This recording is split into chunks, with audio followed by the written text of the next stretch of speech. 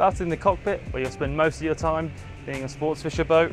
We've got a custom built rocket launcher here that's fitted into this base. You can also use this base for table um, if you want to uh, prepare anything on there.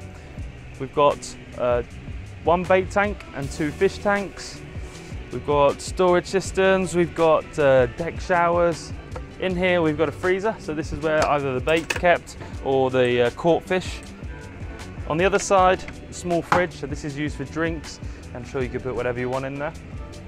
And here we've got the sink and we've got a chopping board. So if you're preparing your bait or preparing your fish, you can do it there. We've got a Raymarine Hybrid Touch Axiom here. So we've got one here and then two inside. So if you're fishing and you want to look at the transducer fish finders, then that's why they put this one outside. A few other bits. So this one has the tuna tower. So this was uh, fitted uh, recently, so you can have a look at the fish. Um, much easier place to helm the boat from, um, and you can look at the fish in the area uh, and see where you want to put your rods. So come on board, we'll have a look inside, and we'll have a look at the helm and all the equipment in there. We're inside at the helm station here, so I'll show you a little bit of what's going on. As I mentioned outside, you've got the three Raymarine Axiom uh, 16 inches. Uh, I believe the one outside is just slightly smaller. You've also got the upgraded Fusion stereo system, so the speakers have been changed and also that system has been done as well. Got anchor counter here, uh, new windlass that's been fitted.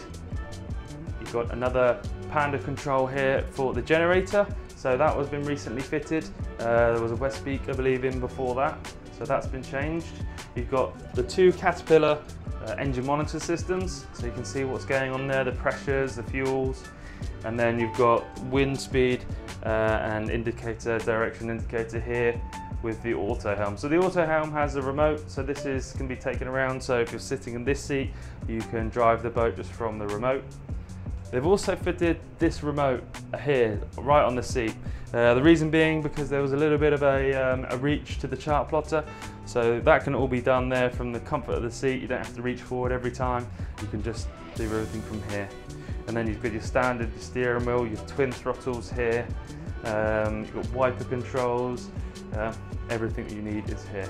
If I spin you around, I can show you the L-shaped seating. So large seating for guests, and then you've got rod holders in the roof. Um, you've got another passenger seat here, and then I'll show you down here in this little cupboard. I've got your drawers for your fishing tackle, so you've got your lures, your teasers. Um, you'll know a lot more about it if you're into your fishing. And then most important aircon unit there. So there's one there and then one that side. We'll show you down the engine room on the way out, but in the meantime, we'll start down into the accommodation. Down the accommodation, we're here in the saloon. So we've got another L-shaped settee there uh, with a fixed table. Underneath that, you've got the teak and holly flooring with the carpet protected over, over the top of that. This boat will sleep four to five people. You've got your double central berth there, and then here you've got your bunk beds. Um, this, so you have a large one underneath, and then the other one pulls out. So uh, if you're traveling and you want to sleep, uh, then that's a nice secure place, so you're not going to roll out of bed. We've got the L-shaped galley this side. So I've got the sink here, two burner hob, microwave, and then you've got the fridge freezer drawers here. Lots of space um, and lots of cooking areas and surface area to cook there. Bose sound systems in the roof. And if you have a look forward, we'll show you the main cabin. So this is a central island berth. You've got your reading lights behind. There's storage and drawers underneath, hanging lockers on the left and the right. So really nice space and a nice big cabin for a 40 foot boat. Spin you around, we'll show you the heads. So we've got the shower here, we've got the electric toilet, and again, sink and storage. So there's everything you need in this boat. And every uh, kitchen, you've got your galley, and then you've got your sleeping accommodation. What we'll do now, we'll turn around, we'll show you the seakeepers that have just been recently fitted, uh, and we'll show you how they work. So a big feature of this boat is the two sea keepers that it's got on. So it's got two Model 3s, which we'll show you. But first, I'll show you the control panel. So you've got all your switches here from when you're switching over from the generator or when you're turning into 12 volts on you to 24 volts and then you'll see here is the two screens for the Sea Seakeepers. So this is where you turn them on. At the moment they're off, so you turn them on about 20 minutes before you go out. Uh, that would warm them up. Um, and then you'll be able to use them. You can turn them on when you get outside, but it's nicer just to have them from the start. So if I open this hatch here, you'll be able to see the two Seakeepers here. So one here, one here. If you don't know how they work, what they do is there's a, a weighted ball inside and that spins at thousands of RPM um, and then that centers the boat's gravity and makes the boat stop pitching, rolling. Um, so these are really nice to have. So if you're fishing um, and you're at anchor, this will keep the boat as still as possible. So it's nice and comfortable for you. Or when you're underway. So if the boat is getting hit by waves, this will keep it as level as possible. Being on the bow here, we've got this electric Maxwell anchor. So we've got the buttons here, foot pedals, or as I showed you earlier, you can do it from the helm station. You've got these really nice thick rail handrails with uh, the mooring systems here. So you've got two cleats here, two there, two midships, and obviously a few at the aft as well. Huge sun pad, so you can see here the size of this. Lots of uh, areas to relax, to sunbathe, and then you've got your fender baskets here. What I'll do, I'll jump up and I'll show you the tuna tower as well. So here we are on the tuna tower. As you can see here, got lots of height, really nice shade.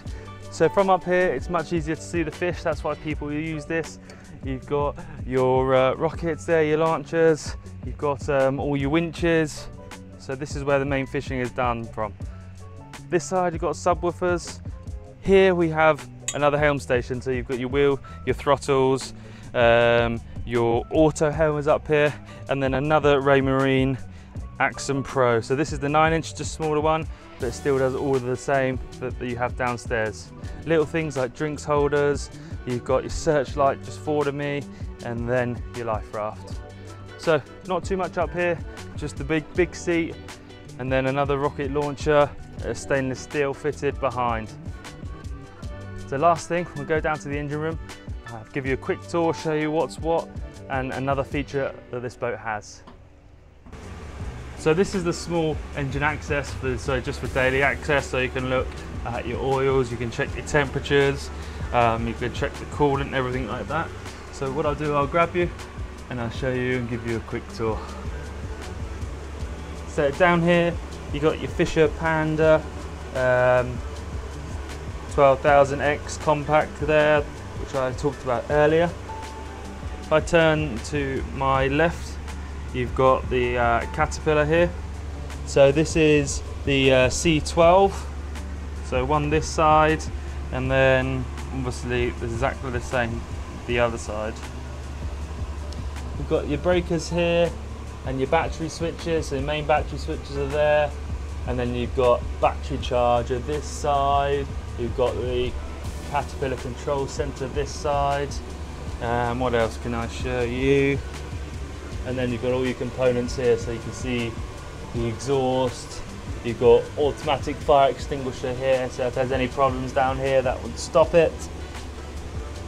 Down by my feet you can see transducer here so this is deep sea so this is an upgrade just for the fishing. So this is a big bonus um, if you want to go fishing and you're trying to see what's underneath you. As I said one of the features here is that you can just about see it just in front of you here, this hydraulic leg. So when you have some major service or major engine work, you don't want to be going in and out this small hatch. So if you had the tuna tower off, then this whole uh, floor opens. So it gives you major access for major servicing and major engine work. So you don't need to squeeze down here. And then you can see the other side, the ram there. So that all lifts up Behind there you've got your air conditioning units and a few other bits as well. But that's all from down in the engine room. Come to the end of the tour. So we finished on this Cabo 40 Express with the tuna tower. So hopefully we've shown you everything uh, that you wanted to see and a, a couple of features that make this boat so special.